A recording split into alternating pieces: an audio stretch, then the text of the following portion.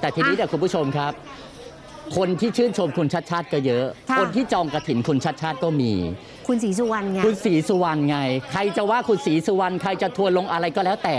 แต่คุณศรีสุวรรณบอกว่า ให้เวลาคุณชัดชาติฮันนีมูนสองสองเดือน เขาเรียกว่าฮันนีมูนก่อน อ่า เขาบอกว่าเอางี้นโยบายของคุณชัดชาติเนี่ย200 กว่าข้อเนี่ย ครับ เขาประกาศเลย เดี๋ยวจะเดินหน้าตรวจสอบนะคะ คือจริง ๆ ก่อนหน้านี้เนี่ยครับดราม่าหนักมากต้องเออยอมรับ หลังจากคุณศรีสุวรรณจันยาเนี่ยเขาโพสต์ Facebook บอกว่าจะมีคน 1.38 ล้านคน ชักดิ้นชักงอ จากการรับรองตำแหน่งผู้ว่าราชการกรุงเทพมหานครทัวร์ก็ลงเต็มที่เลย ล่าสุด มาอีกแล้วโพสต์อีกแล้วฮะ โพสต์อีกแล้วค่ะ นี่ฮะ ขอบคุณทุกคำตำหนิคำด่า ผมจะนำทุกถ้อยถ้อยคำของพี่ๆ ไปปรับปรุงเพื่อตรวจสอบ จับผิดผู้ว่ากทมคนใหม่ให้หนักข้อ เออ และเข้มข้นยิ่งยิ่งขึ้นครับ โพสต์โอ้โหแบบนี้นักข่าวเรายกหูโทรศัพท์เลมัยนคืออะไรครับขอพี่คุยกับคุณศรีสุวรรณหน่อยครับคุณศรีสุวรรณบอกว่านโยบายหาเสียงของคุณชัดชาติเนี่ยมันมีเยอะจริง ๆ แล้วไม่รู้ว่าจะเอามาปฏิบัติได้มากน้อยแค่ไหน แต่จะปล่อยให้คุณชัดชาติทำงานไปก่อนสัก 1-2 เดือนอย่างที่คุณหนุ่มว่าเออถือว่าเป็นช่วงฮันนีมูนไปก่อน แต่ว่าในช่วงที่ท่านเพิ่งเข้ามารับตำแหน่งเนี่ย ก็ถือว่าเป็นช่วงฮันนีมูนก็คงไม่ ไม่ขยับอะไรมากมายนักนะครับ ก็คงจะเฝ้าติดตามนะฮะการทำงานของท่านไปสักระยะหนึ่ง อาจจะไม่นาน อาจจะสักเดือนสองเดือน นโยบายแรกที่จะตรวจสอบอะค่ะ เป็นนโยบายอะไรอะคะก็คงเป็นเรื่องของเออการต่อสัญญารถไฟฟ้า BTS ซึ่งท่านก็ให้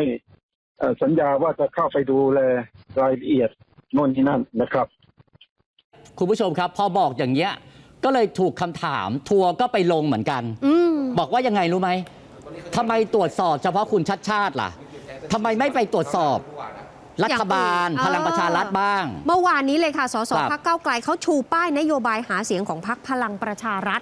หลังจากที่ได้เป็นรัฐบาลแล้วบอกเอ๊ะ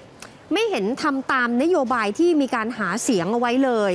หลายคนก็ตั้งคำถามเลยนะคะว่าทำไมคุณศรีสุวรรณไม่ไปร้องบ้างล่ะเอออ๋อคุณศรีสุวรรณบอกว่าตอนนี้นี่มันเป็นช่วงของการเลือกตั้งผู้ว่าราชการกรุงเทพมหานครกับสกเอาเป็นหลักก่อนครับเอาง่ายๆ แต่ว่าหลังจากนี้สิ คุณศรีสุวรรณยืนยันนะคะ บอกจะตรวจสอบนโยบายรัฐบาล แล้วก็พักการเมืองที่เคยหาเสียงแน่นอน พักไหนล่ะคะพักแรกคุณศรีสุวรรณตอบเลยว่าพักพลังประชารัฐค่ะ เป็นเรื่องตลกโปกฮา ไร้สาระไปวันๆของของคนที่ไปลงชื่อมันไม่ได้มีผลทางกฎหมายอะไร ไปลงชื่อกันก็เล่นกันเท่ๆเท่านั้นเองนะครับ ไม่มีผลทางกฎหมายอะไร ใครจะมาถอดถอนผมอะ คนที่ไปกดชื่อก็คงเป็นพวกตกงาน พวกไม่มีงานทำวันๆไม่รู้จะไปทำงานอะไร ไร้สาระไปวันๆก็ไปเล่นโซเชียลกดถูกใจกดคอมเมนต์กดตำหนิว่าคนอื่นไปเรื่อยๆนั่นแหละ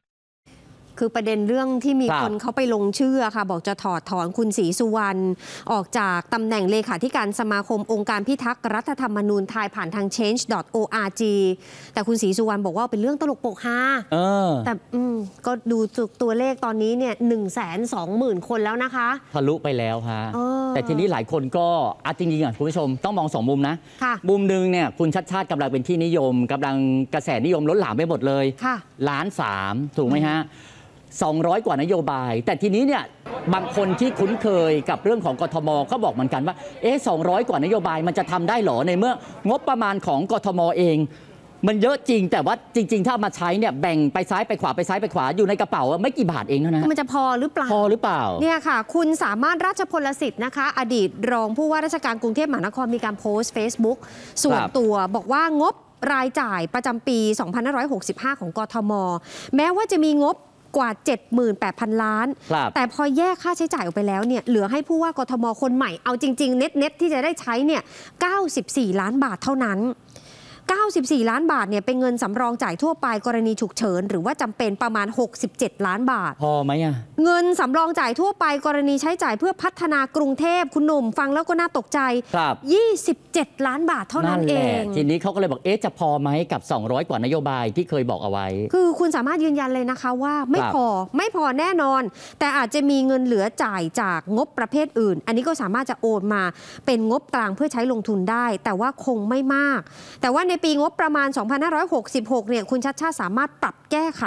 ให้มันสอดคล้องกับนโยบายที่หาเสียงได้เต็มที่อืมอะตอนนี้คุณชัดชาติถึงไหนครับแล้ว สงสัยน่าจะกำลังเตรียมจะออกไปแล้วอ่าเดี๋ยวก็รออันนี้ดูความคืบหน้าอีกทีนะคะ เป็นเรื่องของคุณชัดชาติผู้ว่ากทมนะฮะประมวลแบบเป็นรายละเอียดกว้างๆ ให้คุณผู้ชม ได้ไปนั่งคิดกันด้วยว่าเอ๊ะใช่ค่ะผลงานของท่านต่อจากนี้จะถูกใจคุณผู้ชมหรือเปล่าค่ะอะรอติดตามนะครับ